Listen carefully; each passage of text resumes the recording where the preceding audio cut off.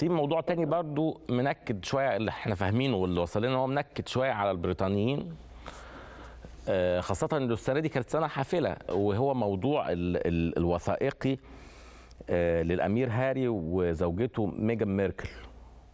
اللي طلع على نتفليكس وال documentary أيوة. طبعا أعتقد إنه حديث بريطانيا يعني طبعا كل الجرايد. بتتكلم عنه وفي بقى ناس زعلانة. قوي لإنه بقى كان بيقول لك مش وقته يعني أنتوا جايين تنتقدوا الست ده الست اللي هي طبعا جلالة الملكه جايين يقولوا أنتوا بتنتقدوها دلوقتي وهي لسه ميتة ففي ناس كتير قوي مشاعرها يعني إيه تضررت؟ لأنه طبعا كان في وداع برضه عاطفي كبير للملكة فلما تيجي تنتقدها بعد أقل من شهرين على راحلها فناس زعلانة قوي ولدرجة إنه في مقالات وصفت بالعنصرية من كتاب كبار حضرتك أكيد بتابع آه، ضد آه، ميجان ميركل.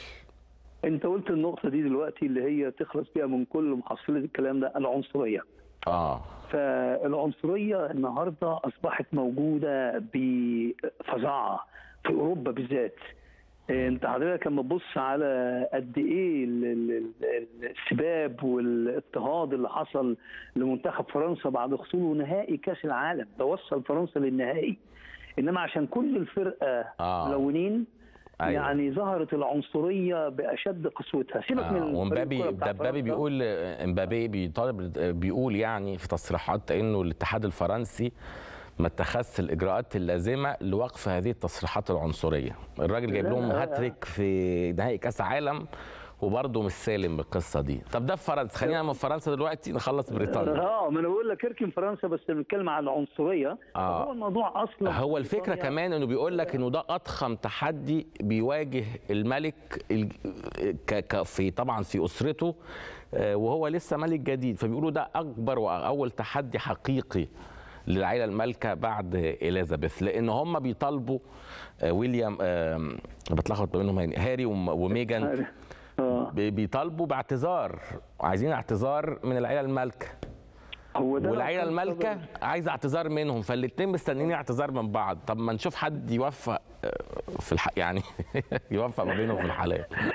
آه، هو الموضوع آه، اتبنى على العناد.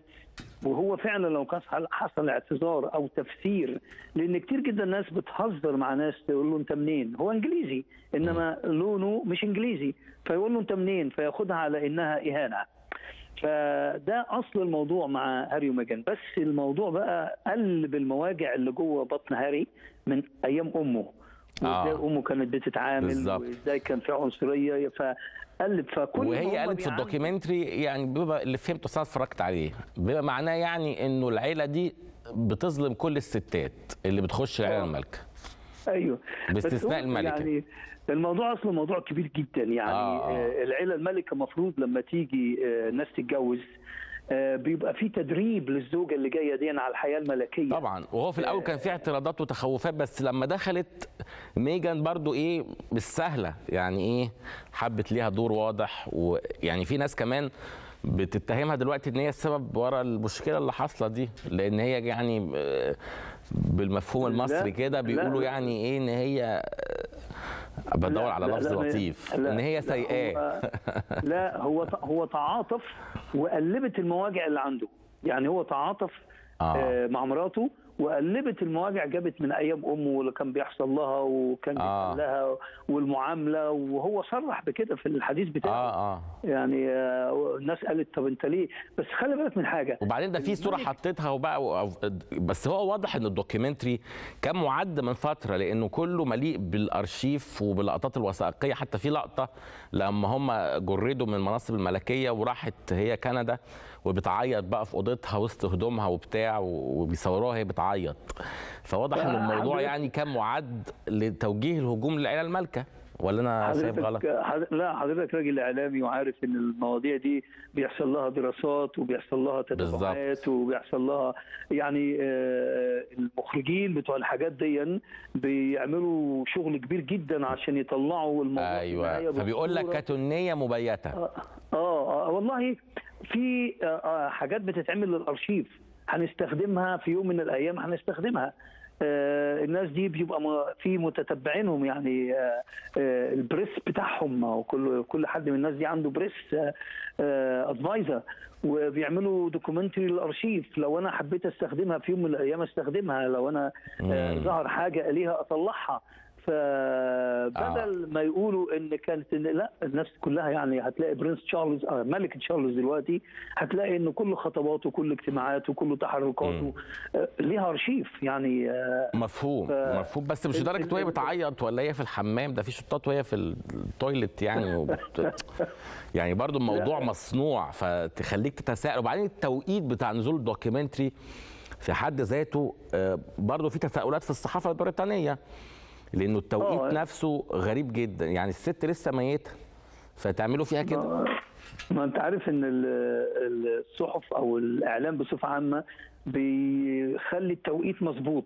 آه. ويختار العنوان اللي هيخبط في الماركت والصورة اللي هتولع الدنيا. ما هو الحاجات دي كلها بتعمل حسابها عشان تطلع بال- بأقصى تأثير ليها. آه، عشان نسبة. المشاهدة طبعا. وبعدين انت من غير طب طب أنا قريت إنه بدأ الشارع يتحول شوية ضد ميجان ده حقيقي ولا أي لا برنامج تلفزيوني. الشعب كله بدون استثناء هيتفرج عشان الشعب عايز يعرف الحقيقة عايز يعرف اللي إذا. كان إحنا اتفرجنا وإحنا هنا في مصر هم مش اتفرجوا. آه أيوه أيوه كل الناس بتتفرج آه أنا اتفرجت على ال documentary. الحقيقة واستغربت يعني آه، استغربت آه. من من إنه في نبرة من الهجوم واضحة يعني مش آه. مش ما تقدرش تخبيها فبرضه أيوة. إنك توثق ده على نتفليكس the globe أو العالم كله بيتفرج عليه أيوة ففي طبعاً. ناس اعتبرته إن هو مش توقيت مدروس ويهدف لضرب العيال المالكة وع- وعمل يعني في سيناريوهات برضو عندهم للمؤامرة مش إحنا بس. السؤال بس هو- هل الناس. تتعاطفت مع ميجان ميركل بعديها أكتر ولا هو ت- كرهتها أكتر؟ لأنه اللي أنا فهمته إنه الناس اتقلبت عليها أكتر. لا في انقسام في الشارع الإنجليزي. آه. في ناس متعاطفة إن وقع عليها ظلم إن هي علشان مش بيضة إن عشان ابنها مش أبيض. آه، في تعاطف آه، نسبة تعاطف.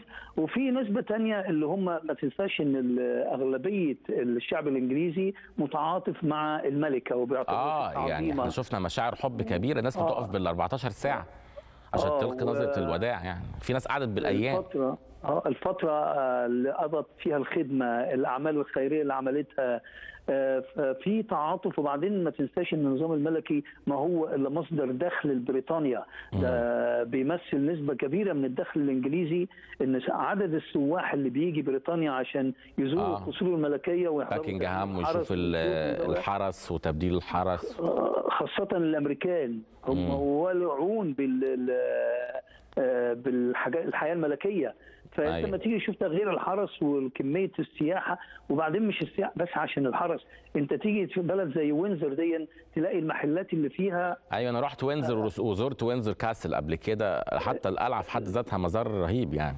شفت رواج وهي هم اسمهم وينسر family أو عائلة وينسر حتى. آه شفت رواج العملات الشرائية في المحلات آه طبعا.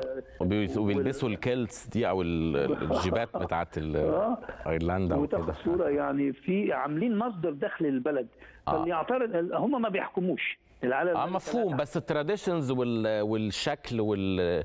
وال style الملكي. وزي ما شفنا في الجنازة كده كان العالم كله منبهر يعني. فالتقاليد ال- الملكية البريطانية تقاليد عتيدة وراسخة وطويلة يعني انت. بتقول لي إنه في حالة انقسام ناس مؤيدة لميجان وناس ضد ميجان آه بس الغالبية متعاطفة مع العيلة الملكة. آه بس الملك تشارلز اللي فهمناه إن هو بي- بيمد إيده بالسلام وبيقول لهم طب تعالوا نحل القصة وبتاع بس اللي فاهمه برضو إن كل واحد قافش. معلش أنا بستخدم الألفاظ البلدي عشان إيه ناس تفهم لا شوية. لا صح, صح. يعني آه إنه كل واحد قافش إنه التاني اللي يعتذر له. أنت تعتذر لا أنا هعت... والراجل عنده تنصيب السنة الجاية تنصيب الرسمي بقى. آه لأنه ما تحطلوش التاج وعشان طبعا الحداد وكده. آه آه فبيقول لك لازم نحل الموضوع ده قبل التنصيب الا هم مش هيجوا يحضروا التنصيب آه ابنه.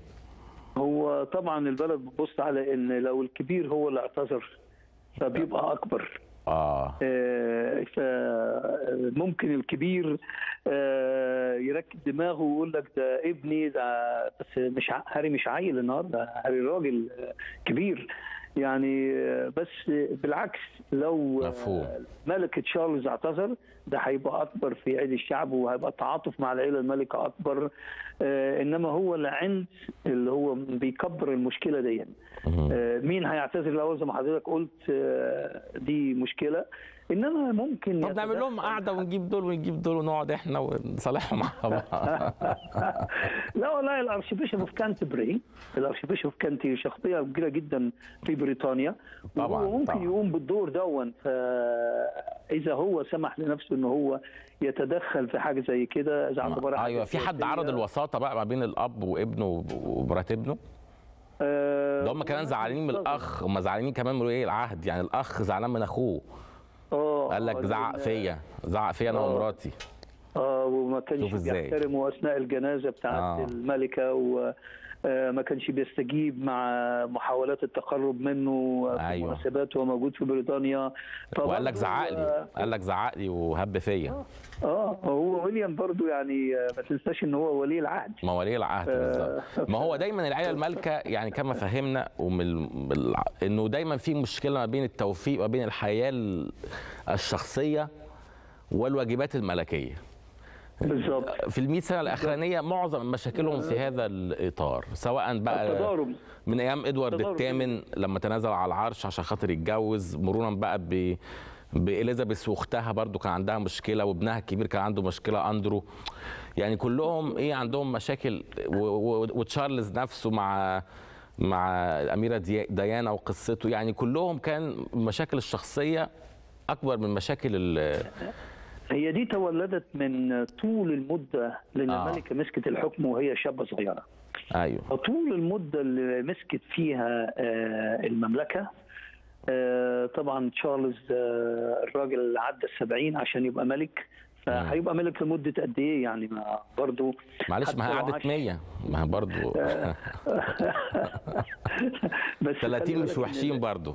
لا لا لا لا مع كل التقدير طبعا للقامات أنا أنا مش أنا مع كل التقدير للقامات الملكية بس إحنا يعني بس في نوع من ال- الملكة الطريقة اللي عاشت بيها ومحافظتها على صحتها وحياتها ما حدش هيعمل زي الملكة أبدا. تشارلز برضو له حياته الخاصة إنما الملكة كان لها طقوس معينة. رهيبة. آه، أمها كانت أكتر لأن أمها عدت المية أيوه. فحسب طقوس حياتك ونظام حياتك آه، فتشارلز يمكن برضو بالرغم إن هو عايش الحياة الملكية إلا إن هو بحبوح شوية في حياته يعني. أيوه أيوه. مفهوم. لا نتوقع إن إن هو هيقعد زي أمه الأعمار بيد الله إنما آه، هتيجي برضو على ويليام هيتولى الحكم وهو صغير جايز إن هو برضو يعني يكون نفس موضوع الملكة. فطول المدة هي اللي بتخلق الحاجات دي.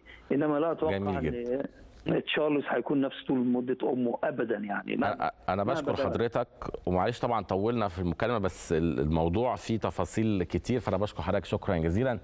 أستاذ مصطفى راجب عضو حزب العمال البريطاني وفصول من الأزمات بتضرب بريطانيا سواء على صعيد رئاسة الوزراء والمشاكل الاقتصادية. أو على صعيد العائلة المالكة وتداخل أيضا المشاكل الشخصية.